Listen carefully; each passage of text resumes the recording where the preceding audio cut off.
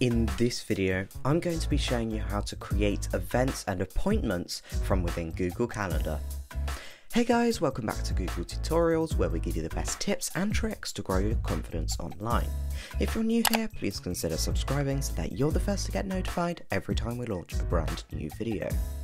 If you haven't watched our Google Calendar Basics video, where we cover everything that you need to know inside of Google Calendar, click or tap the icon in the top right of your screen, or check out the link in the description box below. Creating events inside of your Google Calendar is super easy to do, and this also enables you to boost your productivity, as well as to know what you've got to do so that you don't double book, or it's just useful to know what lesson you have next. To create an event, all you need to do is go up to Create at the top left, and then it will open up this box.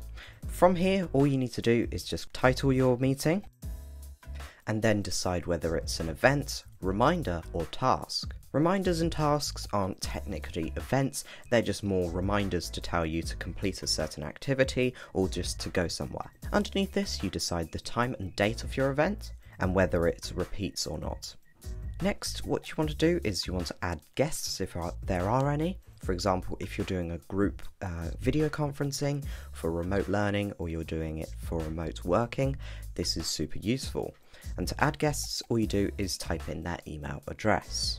And as I mentioned a moment ago, if you're doing this as a form of virtual meeting or event, you want to click Add Google Meet Video Conferencing Code if you're using Google Meet, which I'd highly recommend since it's super practical to use. But if you're using something like Microsoft Teams, you can place this in the description section or the attachment section of your meeting.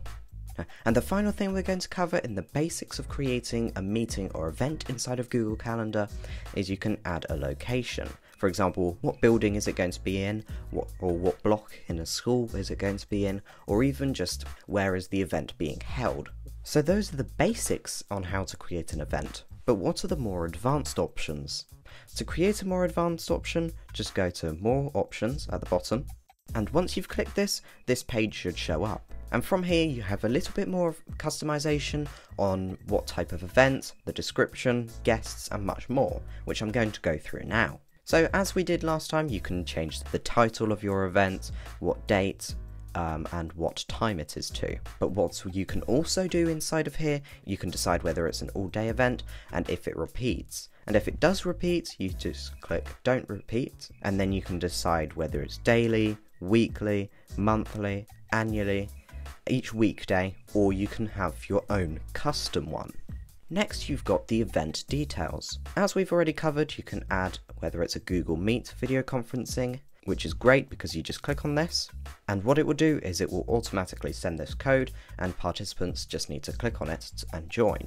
And again, you can add your location, and you can decide whether you send them a notification 30 minutes or whatever period of time before the event starts. Then if you go all the way down to the bottom, you can add the description. So here would be where you tell your group of people what the event is about, what you need them to bring, or what you need them to prepare if necessary, or even if you're just using an external video conferencing app, for example Microsoft Teams, you could post a link in here. And finally, on the right hand side, you have guests.